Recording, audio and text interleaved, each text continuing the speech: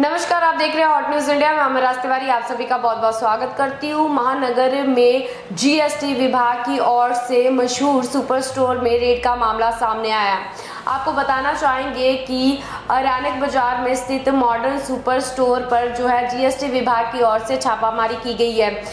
इस रेड में हालाँकि क्या निकला और क्या नहीं निकला, इस बारे में अभी तक जो है विभाग के अधिकारियों ने खुलासा नहीं किया है। पर आपको बता दें कि जीएसटी विभाग की टीम जो है काफ़ी समय तक मॉडर्न सुपर स्टोर के रिकॉर्ड को खंगालती रही।